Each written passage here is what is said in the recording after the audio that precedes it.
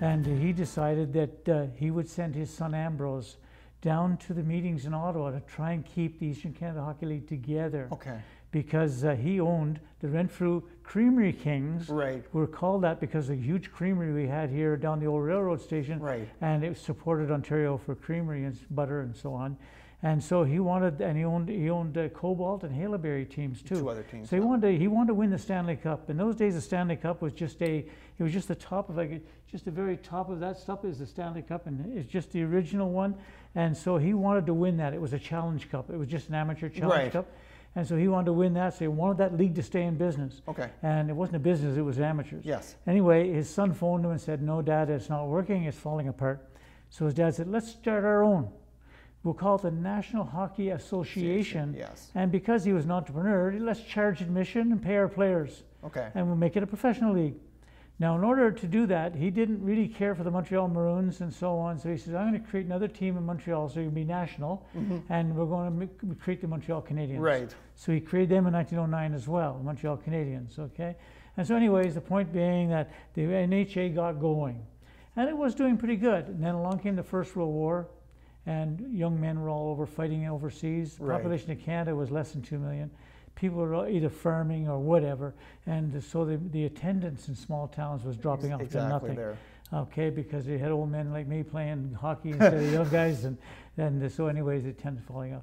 So some people came along by 1917 and said, look, this is a great idea. I think there's a real future in this kind of professional hockey, but we have to take it to bigger towns. We can't have small towns. Right. And of course, they'd never, Renfrew, had never been won the cup yet. Right. And they were known as the Renfrew Millionaires, even though their name was the Creamery Kings, because he was paying in 1909 Cyclone Taylor $5,000 for 12 games, Newsy Lalonde 4,000, the Patrick Brothers big money. So they nicknamed them the Millionaires. So I think believe uh, at the time Cyclone Taylor was the highest paid athlete in the world Yes, yes, of course. for yeah. such a small town to have uh, to pay. yeah, which was unreasonable, you know, especially for 12 games. That's Right. what the season was. You know? exactly. So they did, and then anyway, entrepreneurs came along and said, "We'll take it over." So it took a little while for everybody to agree. Everybody did agree, except the Toronto owner of the Toronto team at that Okay. time. It was the Battalions. That was the name of the team at that time. So they took it over. They got rid of Renfrew. They got rid of Haileybury. They got rid of Cobalt, but they kept the Canadiens. They kept Ottawa, who was in it, the Senators, and they kept the uh, Toronto team in for a while until he sued. And uh, then, so they were okay. Then Montreal, and of course, the Montreal Canadiens.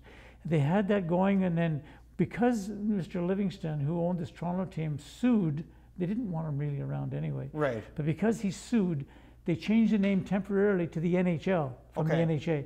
And the president of the NHA became the president of the NHL. Everybody switched the same positions, just they changed the team name. Right. And then, of course, the lawsuit didn't get settled.